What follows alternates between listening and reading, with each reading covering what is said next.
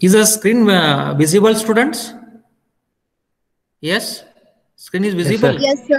Okay. Yes, sir. okay. Thank, uh, thank you. Thank you. Yes, thank you. Thank you. Thank you. very much. Okay. Here is an example. Determine V naught using silicon diode. Right?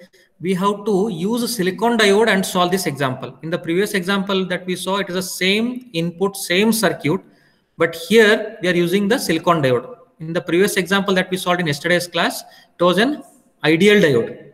Okay, not a silicon diode, but here we'll be using the silicon diode and solving this particular example. What they have asked, they have asked to find the value of V naught, right? And the input positive peak is 10 volts, the negative peak is minus 20 volts.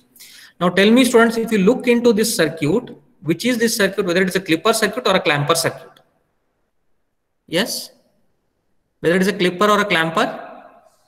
Clampers. sir. Yes, students? Clamper. Clamper circuit, very good. Clamper. Yes, yeah.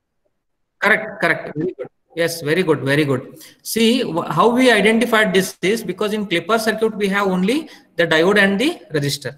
In clamper circuit, there will be diode, resistor and a capacitor. So will this will come to know that this is a given circuit is a clamper circuit. Okay. Now, as I told you all the steps to solve the clamper circuits. The first step that we are following is we have to identify that portion of the input signal for which the diode will go into forward bias condition. The same steps that we did for the previous example, same steps. Okay. So first thing is we have to identify which circuit it is. It is a clamper circuit because there is a combination of diode, resistor and capacitor. It is a clamper circuit. Once we identified the circuit, then second step, next step is we have to find the portion of the input signal for which this particular diode will be forward biased. You have to find that part of the input signal for which this diode will go into forward biased condition. Now tell me students, uh, for which portion it will go forward biased? Positive half cycle, if we consider, so for positive half cycle, positive to negative, negative to positive, diode will go into reverse biased condition. Yes or no? That will go into reverse bias condition for positive half cycle. Now if we consider the negative half cycle, okay, T1 to T2, negative half cycle, minus 20 volts. So the polarity will be minus plus, minus plus at the input, input terminals. So minus connected to minus of diode, plus plus of input signal connected to positive of diode. The diode will become forward biased. The diode will get forward biased and it will be turned on, right? So when the diode turns on, right, then the capacitor will start to charge. The capacitor will start to charge. Okay. So that voltage we have to find across the capacitor and we have to also find what will be the voltage at the output. What will be the output voltage when the diode is in the on state? When the diode will go into the on state, then it is a short circuit. Correct? When the diode is in the on state, the diode will become short circuit. Okay, so when it becomes a short circuit, it is in the on state, then what happens? It is a complete path, closed path. Yes or no? It is a closed path. So because of this short circuit or on condition, then we have to find the output voltage. So the output voltage, if you want to find, you cannot immediately find out like that. So we have to use the Kirchhoff's voltage law to find the value of the output voltage. Now, if you want to apply the KVL here, this is the circuit that will come into picture. Okay. So as it is non-ideal diode, practical diode, what will be the cut-in voltage? It is 0.7 volts. If it is ideal diode, it's completely a short circuit, zero voltage. Okay. But as it is practical diode or the silicon diode that we are using, the knee voltage or the cut-in voltage of the silicon diode is 0.7 volts. Yes or no, students? So that's why I have represented here that is negative positive, negative positive, that is 0.7 volts, negative positive, because the diode polarity is minus plus. And based on this, the cut-in voltage will also have the polarity minus plus. This is negative of the diode, vertical line, then this backside back end is positive. Okay, so here you have negative, positive, negative, positive. Then it is cut-in voltage is 0.7 volts. 0.7 volts okay this is a dc supply that is as it is 5 volts then this polarity will be minus plus because we are analyzing first for the negative half of the input signal negative half of the input signal it is minus 20 volts. So polarity will be minus plus. Negative. Negative positive. It is charged with the same polarity. Negative positive only. Whatever is the polarity at the input signal the capacitor will get charged with the same polarity. Whatever is the polarity at the input signal the capacitor will also get charged with the same polarity. If it is positive negative capacitor gets charged with positive negative. If it is negative positive the capacitor will also get charged with the negative positive okay students. Now this is the circuit. After the diode will go into on condition. That is for the negative half cycle. For the negative half cycle when the diode goes into on state this is the status of the circuit. With this circuit now if we apply the kvl to this output path i have shown the output path here. If i apply the kirchhoff's voltage law to this output path then what do we get here students? Okay. If we apply the kvl to this output path what will be the voltage? Just see what will be the voltage here? Let us find out that. So students uh, what we'll get here? What will be the equation? Yes it is short circuit. So the equation will be how to find the kvl how to apply the kvl to that loop. What will be the equation students to that circuit? So positive negative. Input is positive negative right? So decrease in energy minus 20 volts minus 20 volts okay if you look into this figure right is minus positive negative it is minus 20 here. Okay this is minus 20 you can see in this this is minus 20 here. Okay then negative to positive plus vc so it is plus vc plus vc plus vc voltage across the capacitor right? Then come to the circuit. I am considering uh, this is the input path right? Next we'll take up the output path okay so negative to positive it is minus, uh, 20 volts plus vc then negative to positive negative to positive. It is increase in energy okay? So it is minus plus. It will be plus or negative students? Increase in energy plus. Yes, sir. Positive. yes plus plus correct fine. Yes yes. So it is plus 0.7 volts plus 0.7 volts correct? It is uh, the diode condition here so it is plus 0.7 volts we get. Plus 0.7 volt. Okay. Then what is remaining? Dc supply. Dc supply. This is the dc supply. So positive to negative. Decrease in energy. Correct? Decrease in energy minus minus 5 volts. This will be minus 5 volt is equal to 0 minus 20 volts plus vc plus 0.7 volts minus 5 volts is equal to 0 okay students this is equation one first equation okay? Then accordingly now we have to rearrange the values and we get the value of the vc voltage across the capacitor. So what will be the voltage across the capacitor? Minus 20 minus 5 minus 25 okay? So minus 25 we'll write it minus 25 volts minus 25 volts then plus 0.7 volts minus 25 volts plus 0.7 volts plus vc plus vc is equal to 0 minus 25 volts minus 20 volts minus 5 volts it is minus 25 volts. Then plus 0.7 volts plus vc is equal to 0 or i can write this as vc is equal to how much? 25 i'll take it to the rhs so it will become plus 25 25 volt then plus 0.7 volts if i take it to the rhs it will be minus. Minus 0.7 volt okay that will be the value of capacitor voltage. So how much is this? 25 minus 0.7 is how much? Yes students? 24.3. 24.3. 24.3. very good correct correct. 24 yes correct correct students. 24.3 volts 24.3 volts. So this much is the value of the capacitor voltage right? So we found the value of the capacitor voltage. It is 24.3 volts. Now come to the output loop this loop here output loop. This is the input section this is the input section. Now come to the output loop output side. Okay. So it is 2 plus 5 volts. 2 plus it is plus 5 volts. So let us write that. 2 plus plus 5 volts plus 5 volt plus 5 volt right? Then the knee voltage positive to negative decrease in energy minus positive to negative decrease in energy minus 0.7 volts. It is minus 0.7 volt minus 0.7 volt right then come to the output positive to negative minus positive to negative is minus okay so minus v naught minus V naught is equal to 0. Minus V naught equal to 0. Let us rearrange the terms here.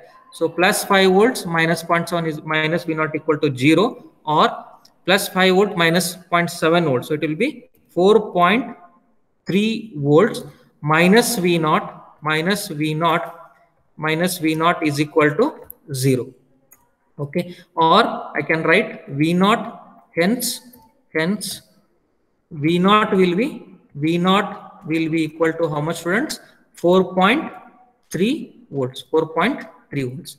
Fine students. The value of the output voltage will be 4.3 volts. Right. This is for the what voltage students? What is the voltage that we have applied now? Negative half cycle. For the negative half cycle, the output voltage that we are getting is 4.3 volts. Following students, for the negative half cycle, the output voltage that we are getting is 4.3 volts. Next, we'll come to the input section. Uh, we found the value of capacitor voltage that we got it as 24.3 volts, right? Then we'll apply the positive half cycle next and check what will be the condition of the circuit. So if I apply this positive half cycle T2 to 3, T3, T2 to T3, this positive half cycle, if I apply this T2 to T3 positive half cycle, so positive is connected to negative, negative to positive as it is. Okay, positive to negative, negative to positive, the diode will become reverse biased. When diode becomes reverse biased, it is open circuit. When diode becomes reverse biased, it is open circuit, right? This path will become open, open circuited condition. So when this path becomes open, then what will be the output voltage that we have to find? Don't say that it is zero. Okay, output voltage will not be zero because this DC voltage is present. Right? Let us see that condition. So this is for the pit T2 to T3. We find the value of the output voltage. So here I have written V0 is determined by the Kirchhoff's, Kirchhoff's voltage law. So Kirchhoff's voltage law will determine how much will be the value of the output voltage. That is what we wrote just now. And we also found out using KVL the capacitor voltage that is 24.3 volts. Okay, students. So this is the next that is for positive half cycle. For positive half cycle, it is open circuit. Diode is reverse biased. When diode is reverse biased, it is open circuit. Now, if I apply the KVL, then what I get here? If I apply the KVL from input to the output, then what? Here I cannot apply KVL because it is open circuit. Correct. So if I apply the KVL, then what will be the equation, students? So equation is, let us write the equation, negative to positive plus 10, negative to positive plus 10. So it is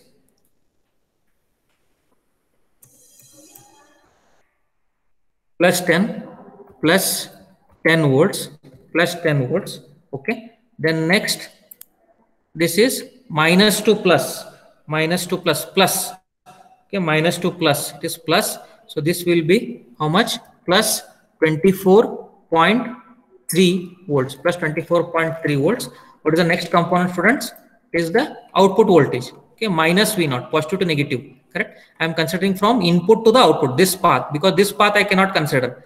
Is it not? This path is open circuit. I cannot consider this path. So from input to the output this closed path i'm considering i'm going from input to the output minus to plus plus 10 volts then minus to plus plus 24.3 volts then positive to negative minus v naught minus v naught minus v naught is equal to 0 now what will be the value of output voltage students?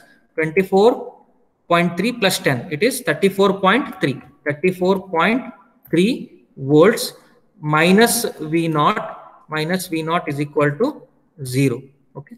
So then what we'll get here? V naught will be equal to how much? 34.3 volts okay. So v naught will be equal to 34.3 volts. Fine students. So this is the value of the output voltage. This is the value of the output voltage when the positive half cycle is applied. Okay. And when the negative half cycle is applied this is the value of output voltage. That is 4.3 volts. 4.3 volts. Right? So with this we will be able to draw the output waveform. We got the output voltage when it is negative half cycle and we also got the output voltage when it is positive half cycle now we can draw easily the output waveform okay see here this is the circuit then next will be the same what I explained, we applied the KVL and we got the output voltage as 34.3. So this is important here. Input and output swings must be same. Resulting output appears as in figure below. The input and output swings must be same. That is how we are cross verifying. Yes or no? We are cross verifying by checking the input and output swings. What is the input swing here? If we look into this circuit, 10 minus of minus 20 input positive is plus 10 negative is minus 20 10 minus of minus 20 it is 30 volts. Now if we check the output swing okay this is the value of the output voltage. Between t1 to t2 for the negative half cycle v naught is how much we got? 4.3 volts. 4.3 volts here. 4.3 volts okay for the negative half cycle and for the positive half cycle how much we got 34.3 volts 34.3 volts right here. So from T1 to T2, it is negative half cycle, the output voltage is 4.3 volts. For T2 to T3, it is positive half cycle, the output is 34.3 volts.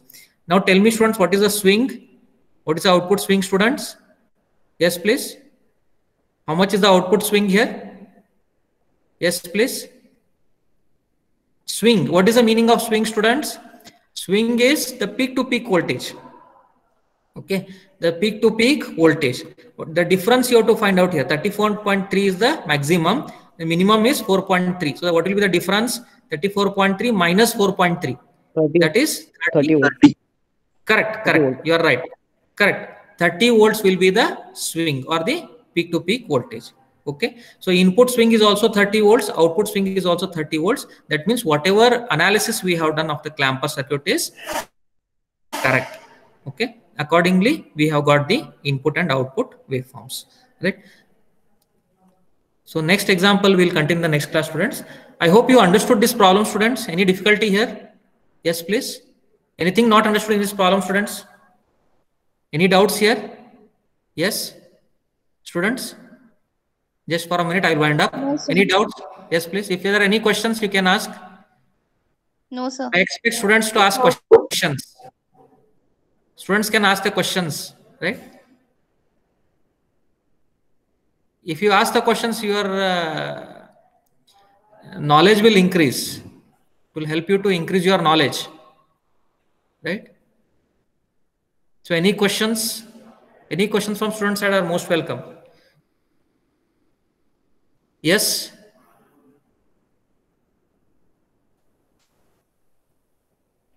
So concept is clear. Students, everybody were able to understand today's uh, example, students?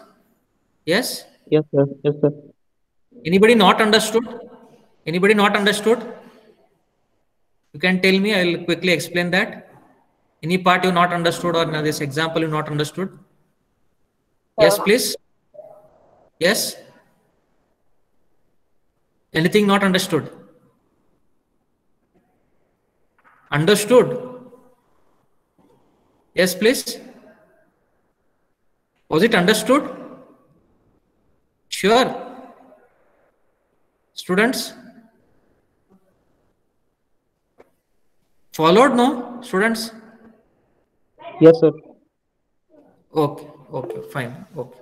Thank you, students. We'll continue with a few more examples in the next class. Okay. You just go through this. I'll be sharing the PPT and uh, video okay right you just go through the material whatever i'm sending and if you have any doubts you can uh, ask in the next class also on this topic what, whatever i discussed in today's class okay thank you students